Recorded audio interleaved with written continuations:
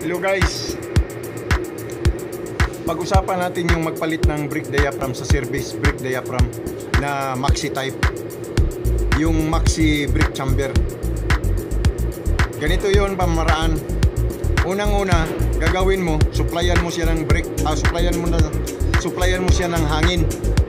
Supplyan mo ng hangin, pag nasupplyan mo ng hangin, ito hindi na nag-brake ito, ito naka-brake na to, naka-lock brake na to. Supplyan mo ng hangin, ingayin hihilain niya to.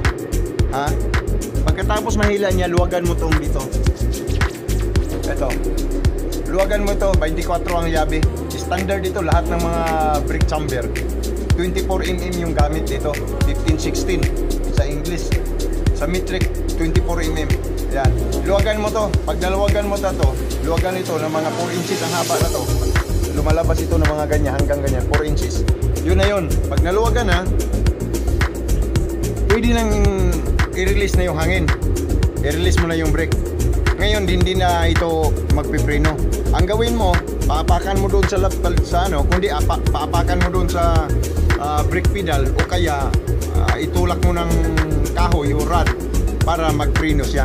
Pag nagpreno na to siya, lagyan mo ng, halimbawa, nakapreno na, nakaganyan na, nakapirmis, nakabrake na, lagyan mo ng vice grip. Lagyan mo ng vice grip na ganun. Ngayon, hindi na babalik yan doon. Easy-easy na pagtanggal sa clamp. Tatanggalin na yung clamp. Pag natanggal mo yung clamp, tatanggalin mo na yung diaphragm. Palitan mo na ng panibagong diaphragm. At saka tips guys, itong clamp na to, kailangan nakapirmis yan ng ganyan. Yung piecing dito, yung mukha dito, dito rin siya nakaharap. Kasi pag nabaliktad dito, minsan mahirap ikabit na. Hirapan ka na maglagay sa tornilyo dito, sa bolt nito, sa bolt ng clamp. Yun lang guys, Ah, simple na pamaraan, magpalit ng brake diaphragm na hindi na magtanggal ng dalawang tornilyo na malaki ito. Pag nitanggal to, minsan matigas ito. Simpleng-simple lang, gamitan mo na lang ng 13mm o kaya 12mm ang gamit ng tornilyo na to sa clamp. Pag natanggal mo na, yun na yun, magpalit ka na ng diaphragm.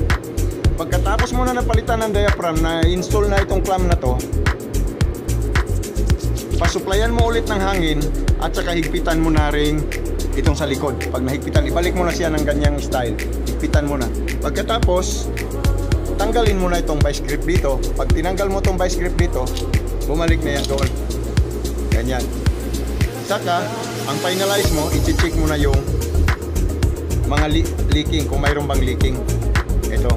Yun lang guys, kung paano magpalit ng ah, brake diaphragm sa service brake diaphragm ng maxi type brake chamber.